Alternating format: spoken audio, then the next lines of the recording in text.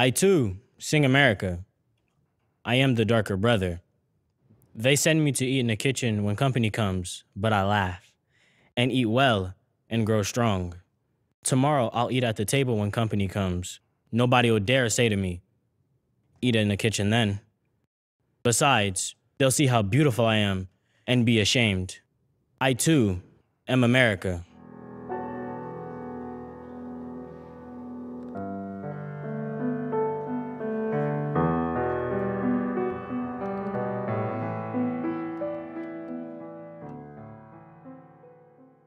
Thank you, Zion Mosley Brinkley, for sharing that powerful poem by Langston Hughes. Hello, my name is Toni Smith, and I am the Director of Community Affairs for Opera Project Columbus. We'd like to welcome you to this historic presentation taking place at the historic Lincoln Theater in Columbus, Ohio. You are about to hear some gorgeous operatic pieces written by African American composers and performed by Central Ohio's best singers. Now, I know there are many opera fans out there, but some of you may not like opera.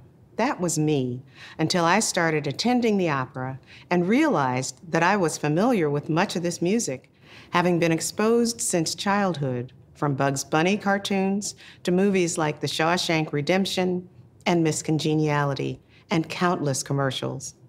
We hope you enjoy this production and also learn something about the African American composers whose work has been little known and underappreciated. I would like to introduce you to local seventh grader Naomi Baker to introduce our first selection. Thank you, Dr. Smith. We would like to welcome to the stage Crystal Sellers Battle, a professor of music and department chair at Bluffton University, where she teaches voice and vocal pedagogy and conducts the university and community gospel choir. Dr. Battle has studied at The Ohio State University, the Royal Northern College of Music in Manchester, England, and has earned additional degrees from Chicago College of the Performing Arts at U- Roosevelt University and Bowling Green State University. The pieces you'll be hearing are by two of the greatest arrangers of spirituals of all time, Margaret Bonds and Moses Hogan. Bonds, born in Chicago in 1913, began her musical studies with her mother, who was a trained musician. In the late 20s, she was admitted to Northwestern University, where, despite encountering racism, graduated with a master's degree in 1934. The same year, she became the first African American to perform with the Chicago Symphony Orchestra. She is remembered for her work as a composer of both original works and arrangements of spirituals and was friends with Langston Hughes. Hogan, originally from New Orleans, was encouraged by his parents to explore his musical gifts and was in the first graduating class of New Orleans Center for Creative Arts. He continued his studies at Oberlin Conservatory of Music and the Juilliard School.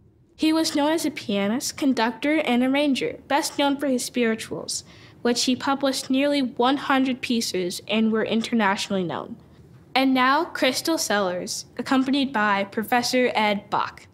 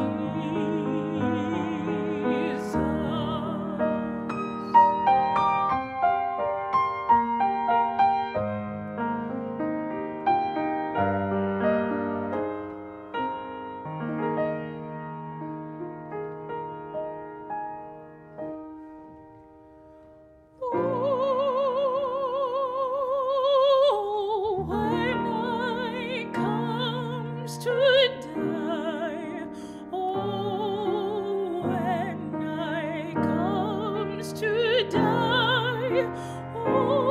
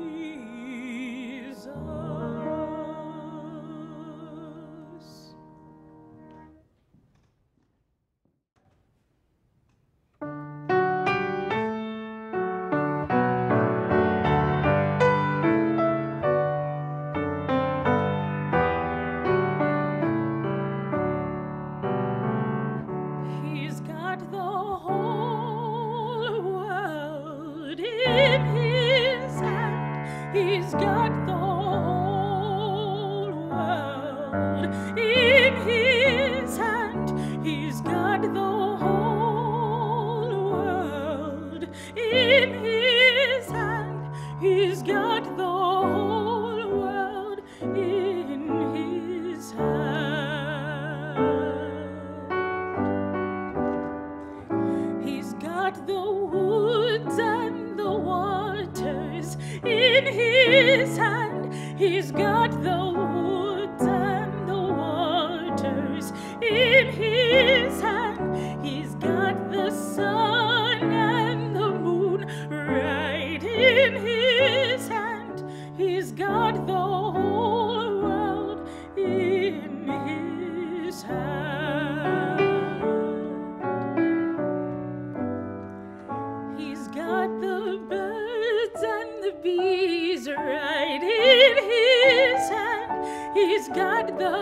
birds and the bees right in his hand. He's got the beasts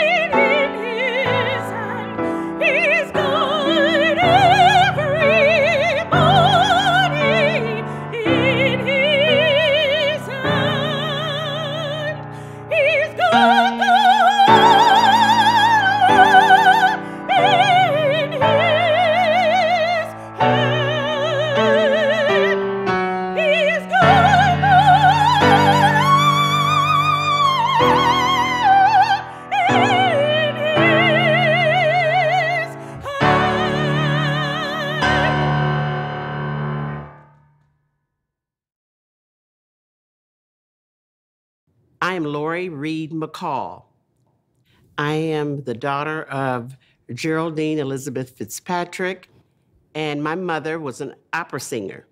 My mother was born in Somerset, Kentucky, and she went to Knoxville College where she graduated, um, got her bachelor's degree. She moved to Chicago where she met my father. They were studying uh, to get their master's in music. My father played the uh, trumpet. She was a singer, opera singer, and uh, they married. I just have wonderful stories about she traveled with a quartet in college and she sang how she loved to sing and her shopping for all these beautiful gowns that she wore. I appreciate her because she brought something into my life that I didn't know, you know, how fabulous it was. You know, as a kid, I, I really didn't understand opera music because I was born in the uh, in the era where we like to hear um, Marvin Gaye and James Brown and uh, Diana Ross and the Supremes. And then I'd hear my mother, you know, practicing to sing because she did travel around in uh, Chicago singing for churches. She did have a beautiful voice, but my sister and I, we can remember those times when we were going like, oh, we got to hear this. This is not what we want to hear. But I am just so glad that we did have that experience uh, to hear, you know, dad playing his trumpet and then mom singing and practicing opera. We have a real appreciation for it now, but then we didn't. And I just would love it if more children had that experience. Hats off to mom. She was a, a beautiful lady and gave me some a lot of wisdom and a lot of uh, experience in the music world.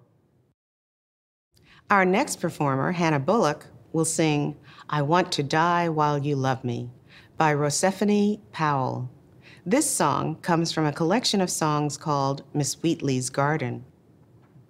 This collection honors America's first black poet, Phillis Wheatley, who was born in 1755. Wheatley was brought from Africa to America at age seven or eight.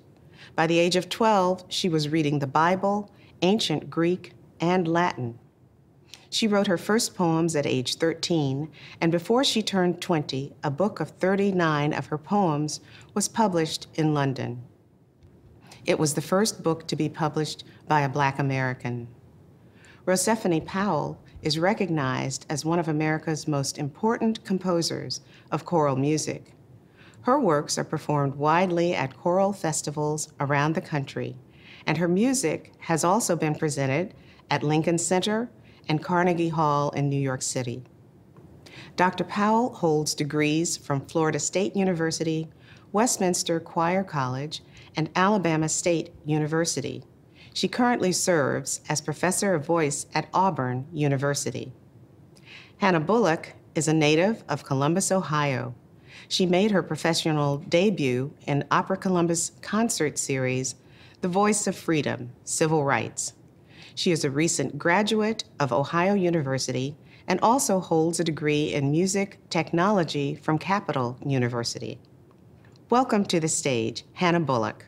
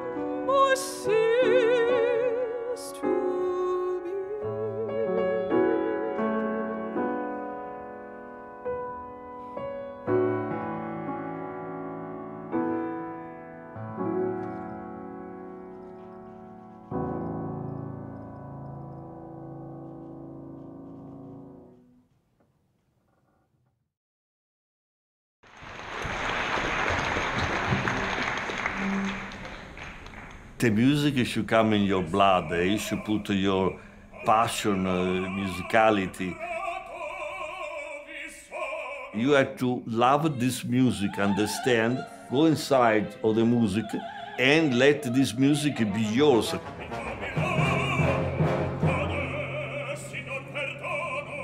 But sometimes when you put the passion on you can create something life, some electricity that you pass to the audience, that you do, and create a level that other people, other orchestra cannot do it. Opera Project Columbus is unique.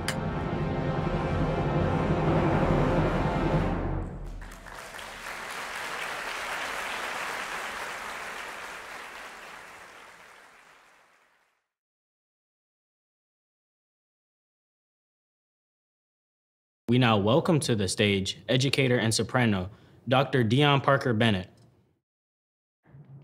Leslie Adams is one of the preeminent African American uh, composers in the United States. He's written for all media, including opera, symphony, vocal works, instrumental, chamber.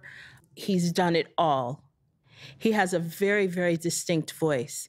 He was born in 1932 in Cleveland, Ohio, where he still resides. His works have been featured by such orchestras as Cleveland Orchestra, all the way to the Prague Radio Symphony. He holds degrees from Oberlin, Long Beach State, and yes, the Ohio State University. The piece that I'm singing uh, Since You Went Away is from a group of pieces called Night Songs. And all of these songs feature poets that are African American. This one happens to be written by James Weldon Johnson. And if you're looking at the program and you see sense spelled S E N C E, know that that is not a mistake. This poetry features the African dialect since you went away.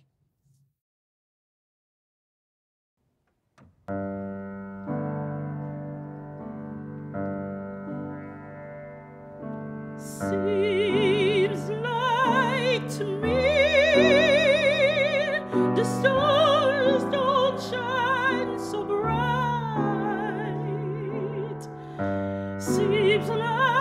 to me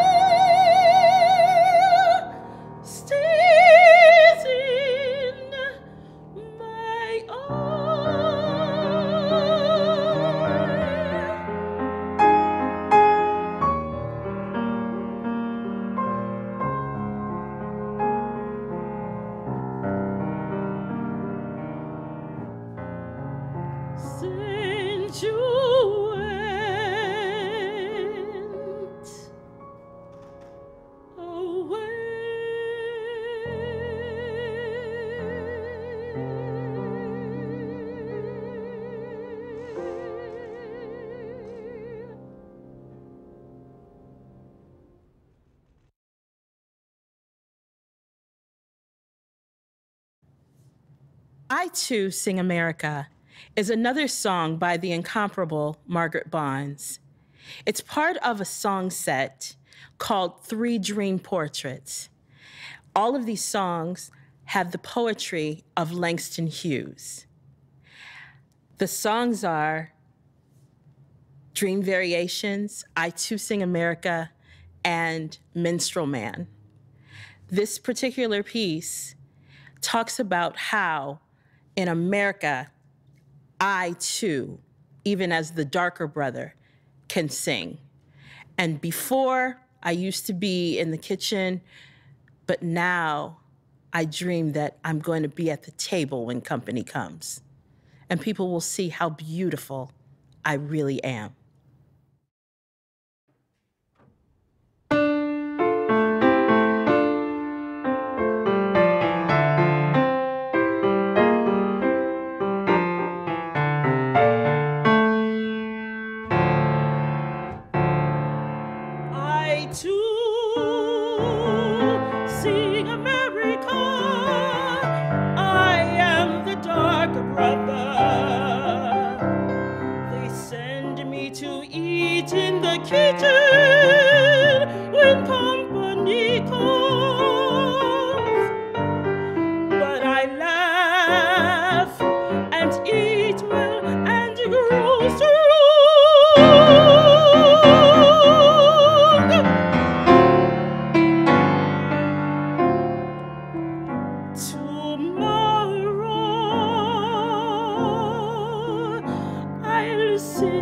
The table when company comes.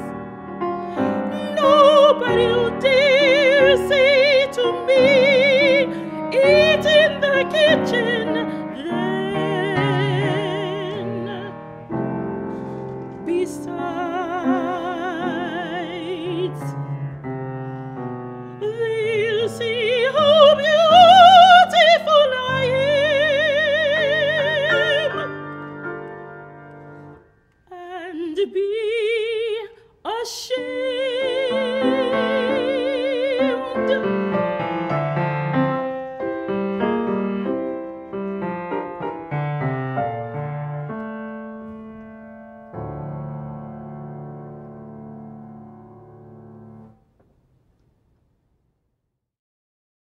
On behalf of Opera Project Columbus, we'd like to thank you for tuning in.